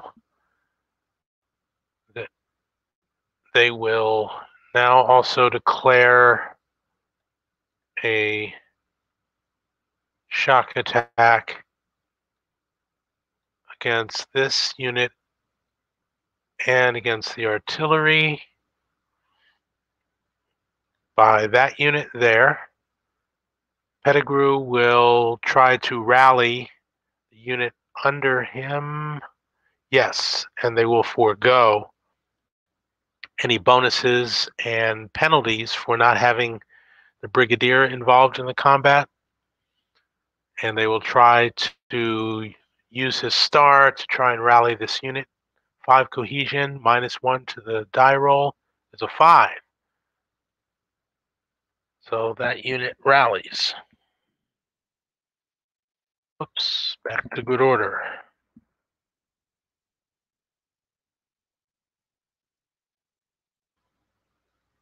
There we go. All right. So, because Pettigrew stayed behind to do this rally, all of these shocks will suffer a negative one uh, if if they end up going all the way through all of the different shock phases to the end, they will suffer a negative one. But with the numbers of troops that they have involved, yeah, the Confederates would not care to get a negative one. Okay, so we declare the shock targets. Hello, blue tweezers. Uh, 10 minutes late, but I'm acknowledging your presence. Glad to have you. All right, so um, we have retreat before shock. So first off, artillery are not eligible, and because of the butte behind it, they can't retreat anyway. So they're they're pretty much in trouble. The cavalry unit there has six strength points against the 17 that they will provide. And if they retreat, the only chance they really have is if their combined fire manages to drive this Goliath unit back before shock. And with the artillery here, six guns firing in their face. Ooh. I'm wondering if those sheer cliffs might prevent them from firing. Let me have a look at that. Steep slope. Um, Artillery may not target an adjacent unit across a steep slope hex side. That is not good. So the artillery will not be able to fire anyway. Steep slope, fire K. Yep. So they are in trouble. Um, goodness. Well, I have now learned why that is not a particularly good position. Um, the unit is going to. Hmm, they're going to attempt to stay there and help out what little they can. So they will elect to stay. This unit here Oh boy, they are going to elect to retreat. And then they will roll, and they actually pass their UDD with a five. If they had stayed, they would get a plus one because of the fact that they were already disordered, and so then they would have failed.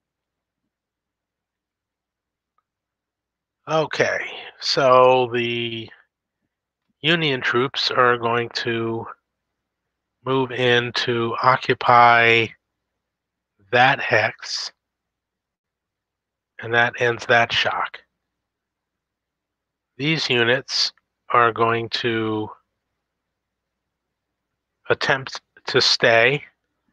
This unit will have a plus one to its die roll because of the fact that they are already disordered and they roll a five. So they do manage to stay.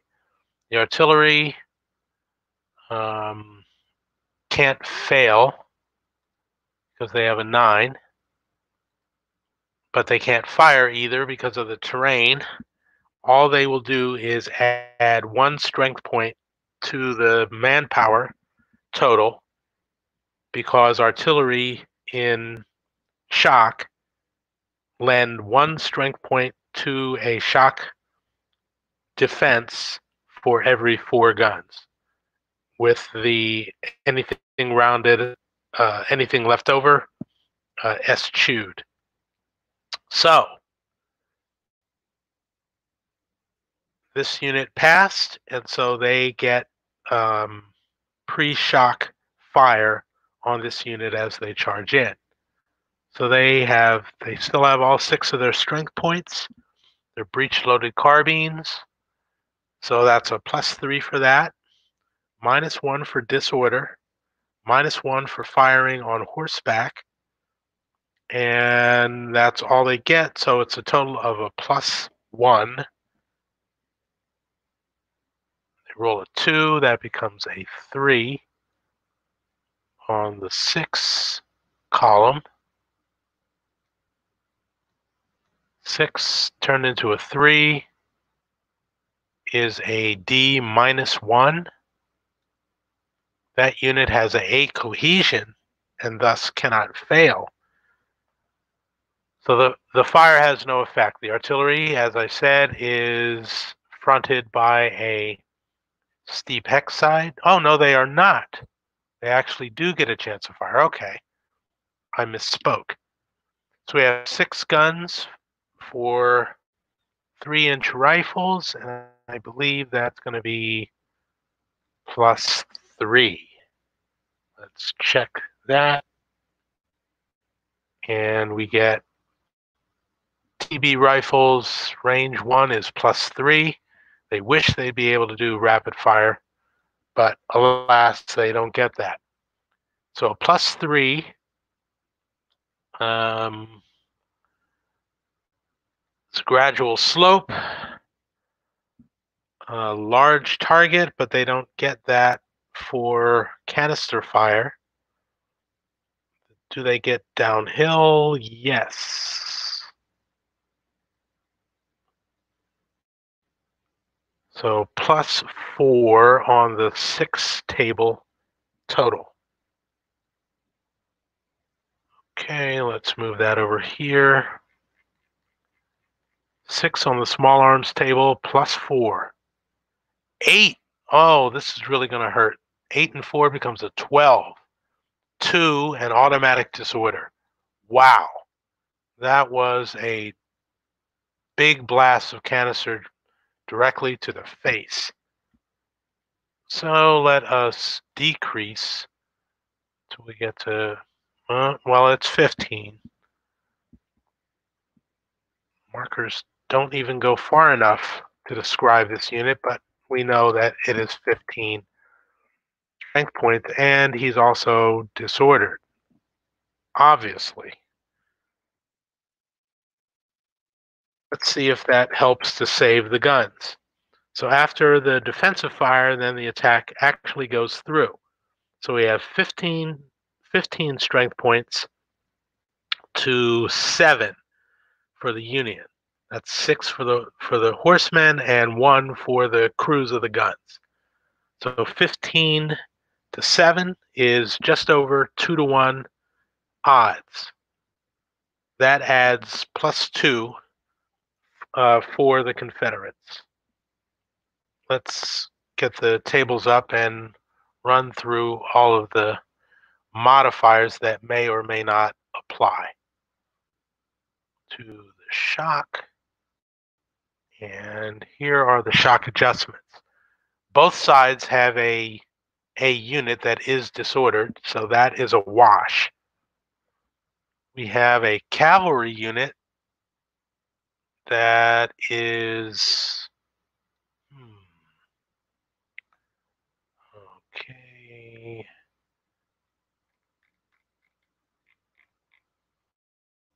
Let's see. Pro defender, no. Pro attacker.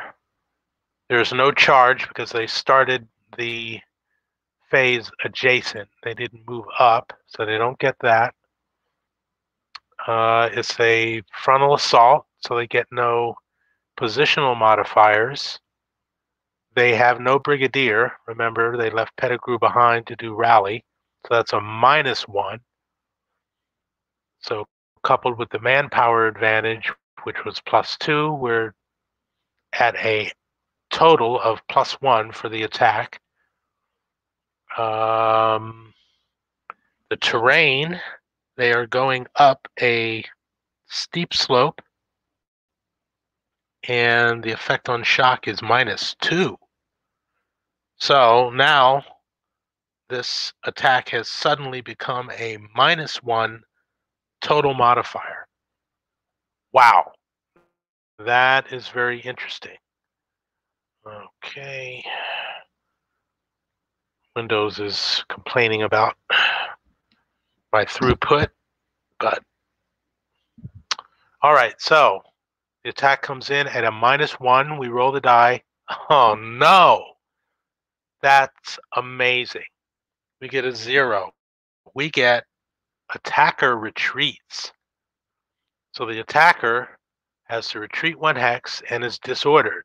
Since that unit is already disordered, he has to roll for a second disorder. If he passes, he will lose a strength point and retreat one or two more hexes at his discretion. If he fails, he will rout. So we hold our breath and we roll and we get a four. He passes the second UDD. So now he is, in fact, at 14 or 17. He's already lost one for 16. He's now at 15. My goodness.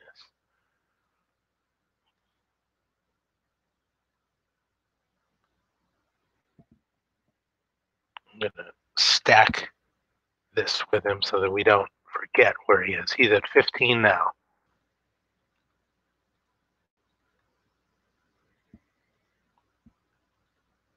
And he retreats two more hexes. The attacker has the option, at least for the cavalry, to advance into the hex and to launch a counterattack but seeing as there are a lot of men still in that hex, they're not going to do that. Now, since that is the end of the shock, the attacker has to undergo post shock disorder, in which they, if they are not already disordered by the shock itself, they become disordered if they are already disordered, which is the case here, they lose an additional strength point to stragglers. And so we will delete that. So that's been expensive. This unit has lost three strength points. There. Okay. Wow, the Confederates are not having much luck with their initial attack. They really should have just stormed that battery and just taken it. But such is the vagaries of love and war, right? It's never fair. So we will bring the Confederate one there and mark Heth as having used his third activation and we pick yet another one and we get Doubleday. And, and for Doubleday, he's going to have four as we learned earlier. First, I will remove the moved markers there. I'm seeing a comment from uh, Blue Tweezers. Yes, that is indeed a steep slope. Oh, yeah, that, that one particular face was not steep, yes. So I did later figure that out. Um, so now we're back here with who's that division commander? Keep forgetting his name. Uh, Doubleday. Yes, here's Doubleday. Here are his troops, and he has used, I believe, two activations. So a third will incur him fatigue and situation here with Buford Cavalry has gotten ooh, mildly precarious, so might be good for them to use fatigue, go to okay. fatigue. Let's clone this.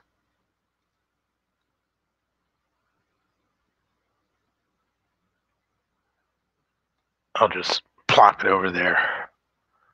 And let's see, we're going to move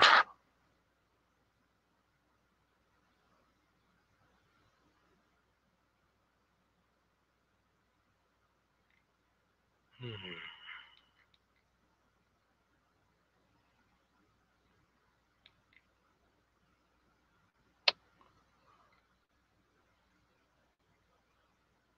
They can't enter the best blocking position because Buford's cavalry then would, well, they could probably go out this way so they can kind of exchange places. I believe that's what they're going to do. Okay, so one, two, three, the stream costing one, four, five,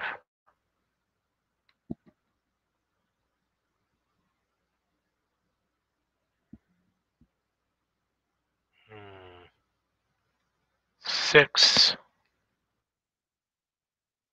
there. Units behind, one, two, three, four, five, six.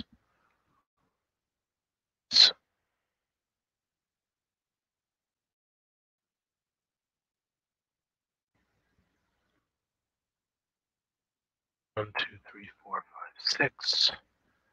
And voila, we have a blocking position that's ahead of McPherson's Ridge, which is here.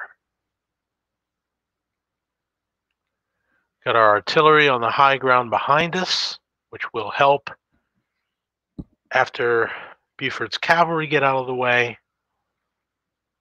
We've got Cutler here Okay. Hmm. Cutler would probably do the most good on this front here. So we're going to try and do this. And I realized that I didn't do all the facing stuff to do that by the book, but you can kind of see what I'm getting at here.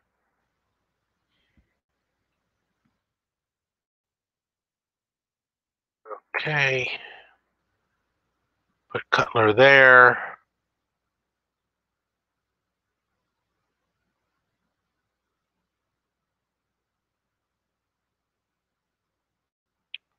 Okay. That's good. These guys are. Oh, wait. I'm moving the wrong division. Sorry about that. I moved the wrong division. These are Wadsworth's guys.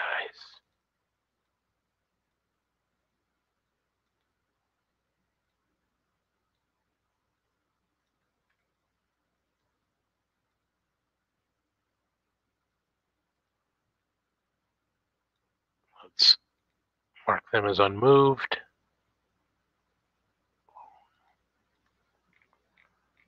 And let's just move stone, which is the other division there. Let's see if we can't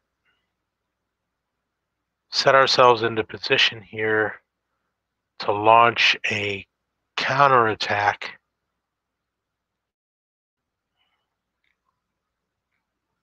I'm gonna watch here and see. Yeah, if he's gotten too far out in front there, we could maybe launch an attack against uh, Davis and Pettigrew as they try to move down the road. So let's let's see what we can do to make that happen. Um, two, four,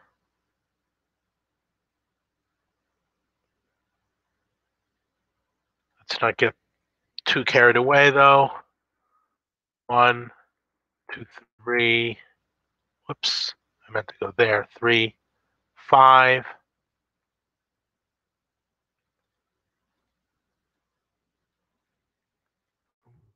There. Stone there. Let's see, rally will go there. Okay. And that's Doubleday.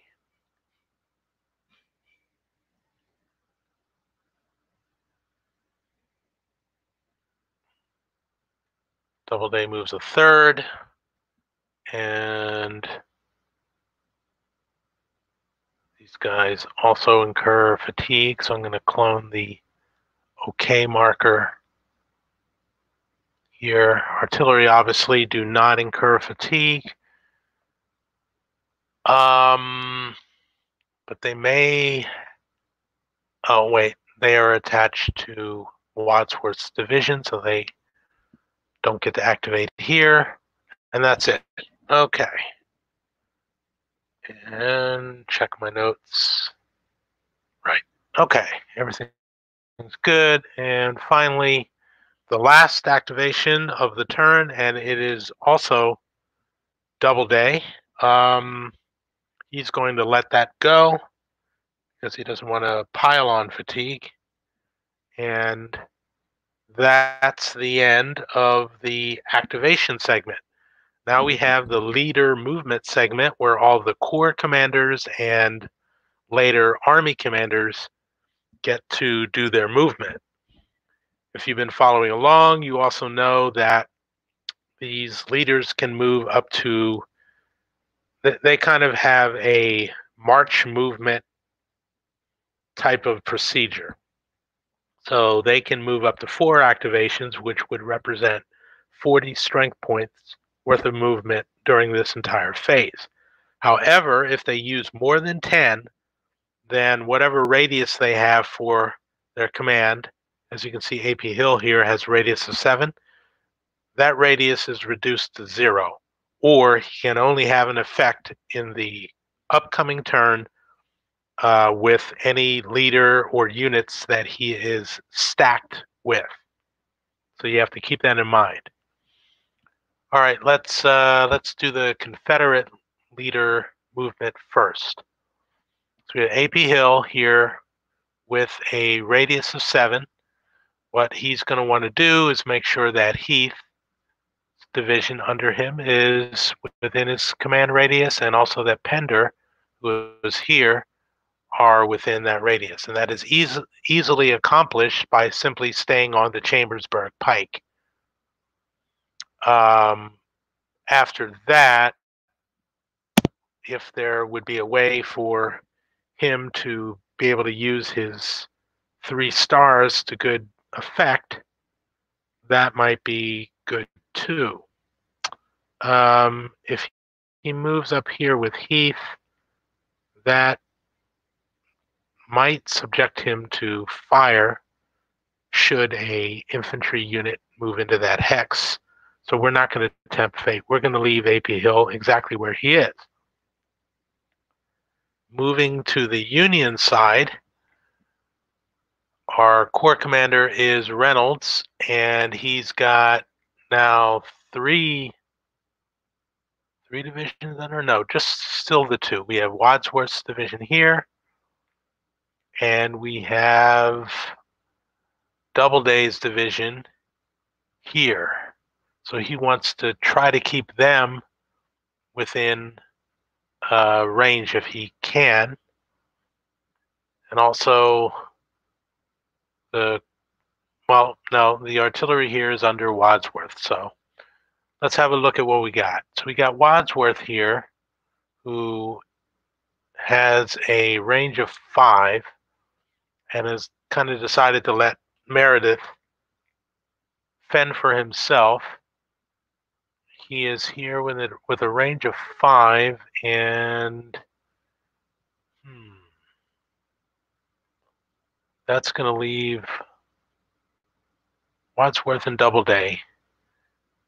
Reynolds is going to want to move to a position where he can keep both Wadsworth and Doubleday in command.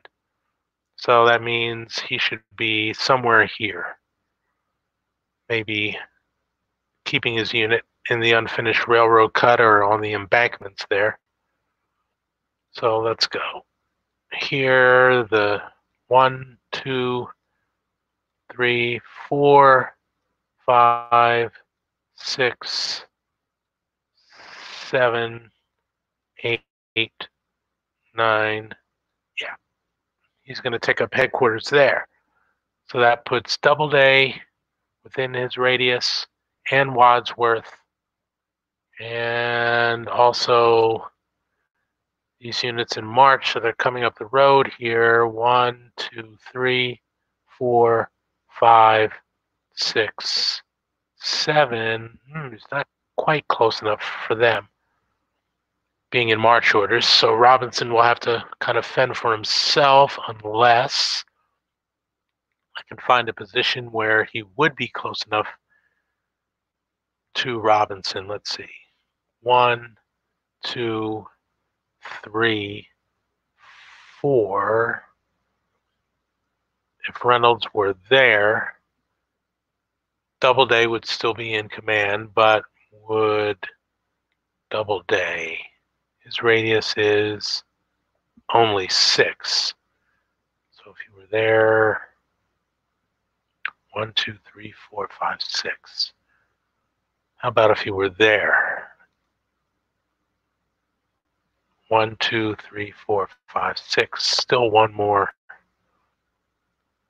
If he were here, one, two, three, four, five, six, Wadsworth would be in command from here.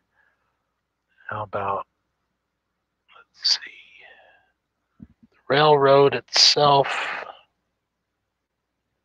It's only one. One, two, three, four, five, six. No. Nope, not going to be able to to get Robinson in command, so there's as good as any. There's our leader movement and the end of the turn. Now at this point, both sides would reveal their core's efficiency to make sure everything is on the up and up. As we can see, AP Hill had a three. And that explains why Pender got a four because AP Hill himself, being on map, adds one. And we saw that Reynolds has a four, which explains the embarrassment of riches there. And Buford's cavalry there had a two and he adds a third because he is an able commander on his own initiative. So there we have all of that. We'll take all of the expended chits and plop them down here for use in the next turn's activation segment.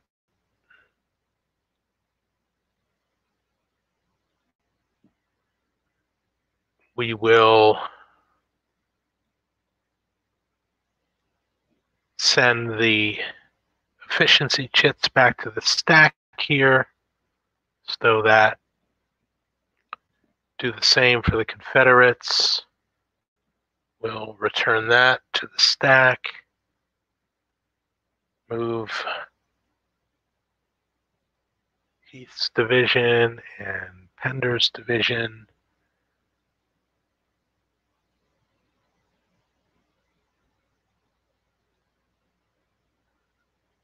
over here.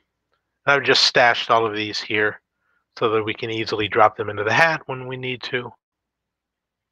And that's all for the turn. So we go to the turn record and we move the time to 12 o'clock. And this looks like as good a time as any to end this telecast. And who knows, maybe we'll come back and move into 12 o'clock when the Confederates start to get some reinforcements here to the western side of Oak Hill. We will then continue with the, hopefully, the extraction of Buford's cavalry minus any more casualties to the rear and maybe even save this gun battery. So a lot of gravity is going to uh, probably hinge on who wins initiative and who gets to move first. All right, so that's it for this turn. Um, well, let's do another look at the overview here and see what we can show you. Okay, so as the as Confederates move down the road, we see that Heth is having some success with the attack overall, but at a cost. Pettigrew has gotten this large unit whacked pretty good. He's got one uh, brigade here that's going to uh, try to enter reserve for the next turn. But right behind Heth, we have Pender's brigade, which at its option could continue down the road and support Heth, or it can start to move down here and pressure the Union, who seem to have a pretty good position here with forces behind Herr's Ridge and forward of the McPherson Ridge position, with even more troops to emerge out of Gettysburg next turn. So we still have a lot to fight for. Um, neither side really. Ne- ah, let me say that again neither side seems to have a huge advantage at this point. They both have both positives and negatives in their relative positions. So we'll just have to see what happens as the day goes to noon. So I'm going to stop here and hopefully I'll see you in the next telecast when we move forward. Until then, this has been Alan Dickerson with Stiglr for the details.